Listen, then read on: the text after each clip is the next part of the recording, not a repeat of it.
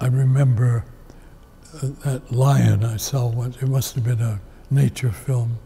A big old lion that was lying in the ground some way down. And there were these cubs around playing and sort of uh, bothering him.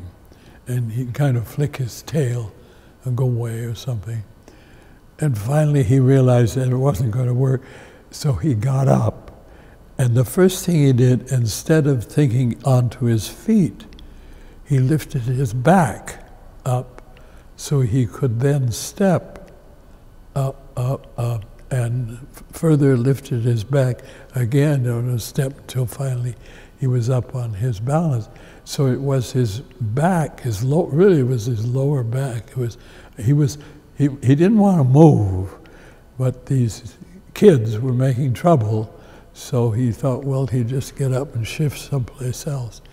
And it was an extraordinary lesson in how to get off the floor.